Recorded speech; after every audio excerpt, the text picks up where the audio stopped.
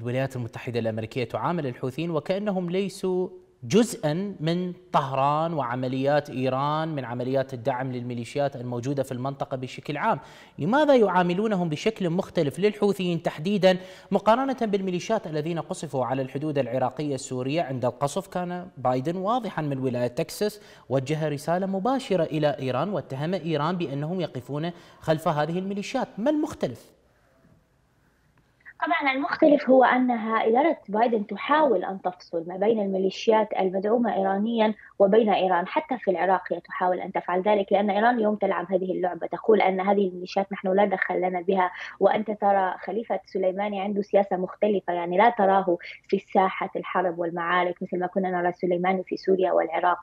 آه وبالتالي تحاول أن تفصل. تقول لهم سنعاقب هذه الميليشيات بمعزل عن الملف النووي الإيراني ولكن هذا لا ينفع. قبل قليل كان هناك محاولة للصبر وعدم ربط الحوثيين بإيران ولكن في العقوبات الأخيرة اللي صدرت قبل قليل من وزارة الخزانة الأمريكية على كيانين في الجماعة الحوثية قال قال البيان بصريح العبارة هذه الكيانات تنفذ أجندة إيرانية لتنفيذ آه، أهداف إيرانية في اليمن وكل هذا على حساب على حساب الشعب اليمني والمعاناة ومفاقمة الأزمة الإنسانية في اليمن. يعني هذا المحاولة لا تصمت كثيرا بسبب سلوك إيران. الحوثيين لديهم كان مثلا هم آه، فرصة ذهبية الآن في عهد جو بايدن أنهم يتم معاملتهم ككيان يمني ليس تابع لإيران ويكون لهم حصة مستقبلية في السياسات اليمنية. ولكن يعززوا آه، فكرة أن لا يهمهم ما يجري داخل بلدانهم لا تهمهم الصورة الصغيرة. داخل بلدانهم مثل جماعات أخرى جماعات الإخوان المسلمين. مثلا تفكر بكيف بشكل عام كيف؟ يعني اليوم مثلا هناك جماعات من الإخوان المسلمين في سوريا ميليشيات لا يهمها ما يجري في سوريا تدير ظهرها. للقضية اللي قاتلت لأجلها في سوريا وتقاتل في ليبيا لأنه يهمها الصورة الكبرى وهكذا أيضا ميليشيات إيران. آه، وهذا لا يصمد يعني. أمريكا لا تقدر أن تصمد بفصل هذه الجماعات عن إيران والسلوك الإيراني. طيب ولكن هنالك وصف لحكومة جو بايدن يعني خاصة من العرب من المواطنين في الشرق الأوسط بشكل عام. يعتقدون أن جو بايدن ضعيف للغاية حتى هذه اللحظة. هو يطرح مبادرة أوروبية على الطاولة وإيران هي التي تتشرط وتعاند وتسيطر على الموقف تماما كما هو واضح. حتى عملية الحدود العراقية السورية الكثير من العراقيين وحتى من السوريين يعتقدون هي عملية ردع عسكرية وليس لها دخل في الاتفاقية النووية والرجل كان مجبرا على ذلك. هل تتفقين أنت مع ذلك؟ العملية على الحدود هي كانت واضحة شو هو سببها. هو سببها الرد على هجوم الهجوم على أربيل اللي كان من جماعات مدعومة إيرانيا.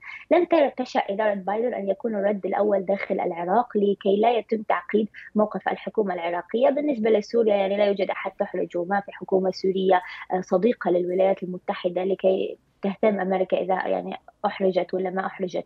كان الرد الرد على هجوم اربيل تقول إدارة جو بايدن لهذه الميليشيات أن هذا الرئيس الذي يبدو ضعيف والذي يقول كثيرا أنه سيسلك الطرق الدبلوماسية والسياسية لن يتوانى عن استخدام الحل العسكري آه، إذا ما كان هناك تصعيد من قبل ميليشيات إيران التي تتهاون مع ما يسمى بالحل السياسي. آه، مثل ما ذكرت لك من واشنطن يبدو تبدو خطوة بايدن قوية لأنه رئيس انت جاي ليحل مشاكل كورونا والمشاكل الداخلية. حتى الآن المدارس يعني الأطفال في أمريكا لا يذهبون إلى المدارس المدارس مغلقة. الكثير من المشاكل الداخلية يحتاج بايدن اليوم أن يمرر الحزمه الاقتصاديه لمعالجة تداعيات كورونا ولم تمرر بعد ويقوم ويهجم على ميليشيات إيران. هذا كان أمر مستهجن من بعض اليسار هنا في أمريكا الذين لا يريدون حروب ولا يريدون هجمات عسكرية في الشرق الأوسط. كانت خطوة أولية خطوة صحيح هي ردعية وهي خطوة للرد وإرسال رسائل كثيرة للميليشيات المدعومة ايرانيا. ولكنها طبعا خطوة ليست حازمة وحاسمة وليس بإمكانها أن تحسم شيء في الصورة الكلية. أما بالنسبة للبرنامج النووي الإيراني والاتفاق هناك وجهة نظرين. وجهة نظر الإيرانية التي تقول اليوم وفي هذه اللحظة يجب أن ترفع أمريكا كل العقوبات عن إيران وتتوقف عن تطبيق أي عقوبات عن إيران وهكذا نكون عدنا إلى التزاماتنا بالبرنامج النووي. أمريكا تقول أن برنامج حتى يعني إدارة جو بايدن ومسؤولي بايدن أن البرنامج بشكله وصورته في العام 2015 لم يعد ينفع لأنه يعني إذا الآن عادت آه، الإدارة إلى آه، برنامج 2015 تنتهي أصلا صلاحيته في 2026 وتبدأ تباعا آه، إزالة كل القيود النووية عن إيران وبالتالي الإدارة يعني ما عندها أي إمكانية أن تعود للاتفاق بشكله في العام 2015 لديها شروط جديدة. هنا إيران تتعند وتقول لا نريد أن نعود إلى المفاوضات إذا كان عندكم شروط جديدة. الإدارة ليس لديها فقط شروط جديدة بالاتفاق النووي ولكن شروط متعلقة ببرنامج إيران الصاروخي وسلوك إيران في المنطقة. وحتى هذه اللحظة المتحكم هو واشنطن برأيي لأن الأوراق لا تزال بيدها ولا تزال كل العقوبات مطبقة على طهران. طهران كانت تحاول أن ترفع تجميد أموال خاصة بها موجودة في كوريا الجنوبية وفي اليابان ولكن أمريكا وهذه الدول اللي هي حليفة أمريكا قالوا لا رفع لتجميد هذه الأموال حتى يكون هناك تفاهم كلي مع واشنطن. طيب ولكن كيف تعتقدين بأن واشنطن هي المسيطرة في هذا الموقف؟ ويعني إيران هي التي فرضت شروطها الآن هي طلبت من واشنطن بشكل واضح ترفعون العقوبات سنتحدث غير ذلك لن نتحدث معكم نهائيا. واضح أن إيران يعني غير منزعجة وغير متضايقة تماما من عملية آه، الضغط الأمريكي على إيران في ناحية الاقتصاد والعقوبات الاقتصادية التي لا زالت هي مفروضة الآن على إيران، واضح إنها تستطيع أن تصمد حتى أكثر من سنة من الآن إذا ما التزمت واشنطن بشرط بالشرط الإيراني، كيف لواشنطن أن تكون مسيطرة برأيك؟ طبعا بايدن يعني لن يفعل أكثر ما فعله دونالد ترامب لإيران يعني هذا حتى نكون متفقين عليه.